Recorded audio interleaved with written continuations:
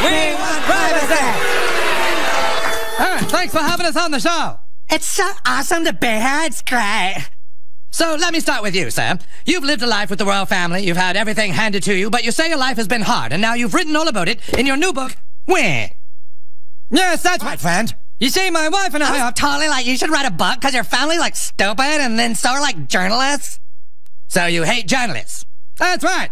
And now you wrote a book that reports on the lives of the royal family. Right. So you're a journalist. We just want to be normal people. All this attention is so hard.